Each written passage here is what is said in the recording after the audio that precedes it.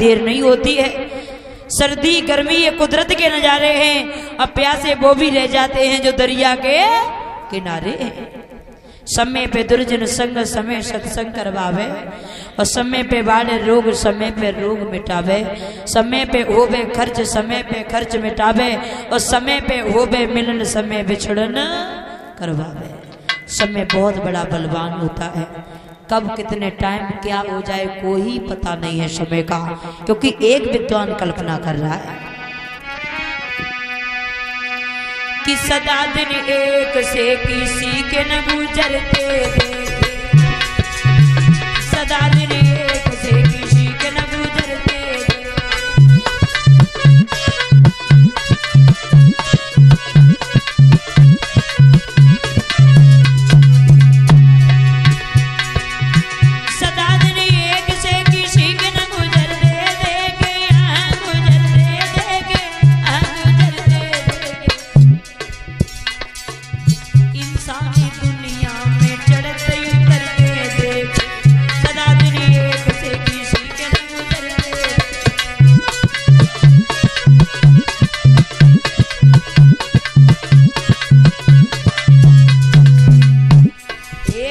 एक समय कभी किसी का नहीं रहा।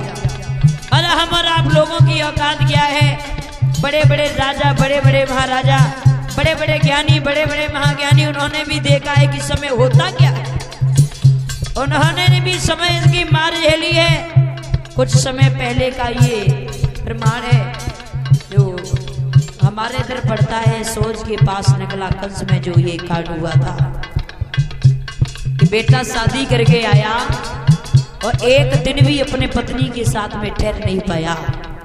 ऐसी दुर्घटना घटित हुई कि करंट लग के उसकी मौत हो गई। कहते हैं कि कोई पता नहीं है समय का। और कुछ समय पहले, ये परसों की बात है, ये किसली के पास जो गोकुल पर बढ़ता है, वहाँ पर कहते हैं कि एक माँ के तीन बेटा थे। और शादी होकर के केवल और केवल तीन ही दिन हुए थे।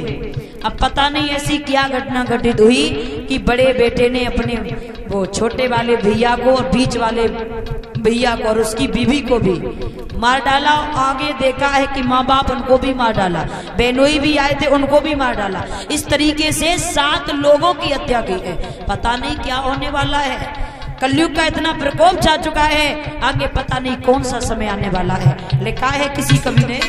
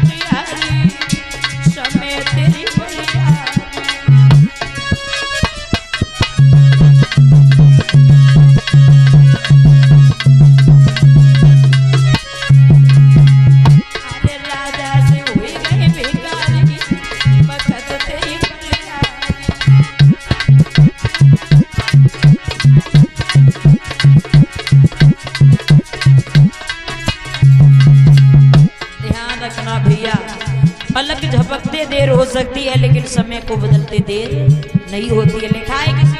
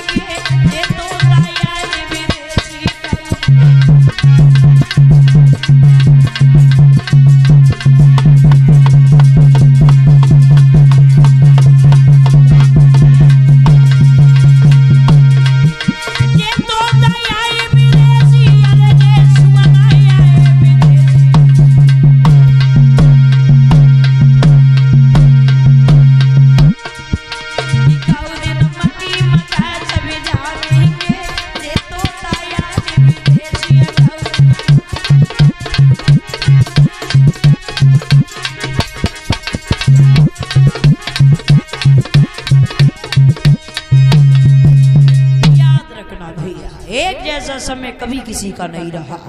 कहा, माँ, रानी एक महलों में रहने वाली और समय की ऐसी मार आई कि घर परिवार छोड़ करके आज खेतों पर रहने के लिए जा रही है। और इसी के साथ साथ इक्यावन रुपए जो हमारे करीब भिजवा रहे हैं, सुनील भैया, उनकी तरफ़ से। महारानी चली हैं। रोती बिलकती हुई जा रही हैं, परमात्मा मुझे तो ये दुख दे दिया, लेकिन मेरे जैसा दुख किसी और को मत देना। जाकर के खेतों पर रहने लगी है झोपड़ी डाल करके। एक दिन का ज़िक्र है, रात्रि का अंधकार है। मैया के हृदय में विचार बना है कि ऐसे जीवन से तो मर जाना ठीक है। पति का प्यार छूट गया, घर परिवार छूट गया तो अब मेरा जी करके होगा भी क्या? तो रात्रि के अंधकार में मैया उस झोपड़ी से निकल के जंगल की तरफ़ चली है मरने के लिए। दिमाग में झटका लगा है। मैंने कभी भी अपने महाराज को बगैर पूछे बताए कदम नहीं रखा, क्योंकि पतिव्रता स्त्री थी। और आज की डेट में अब बात आ गई है तो पूछ लेते हैं, ऐसी मैया यहाँ कौन बैठी है जो रोजीना सुबह उठ करके अपने सास, ससुर और पति के चरणों को स्पर्श करती है? जरा हाथ ऊँचे करना। अच्छा छोती नहीं हो तो छुपाए कौन कौन सी लेती है? भाई, ऊँचे कर दें। एक काम होता होगा ना?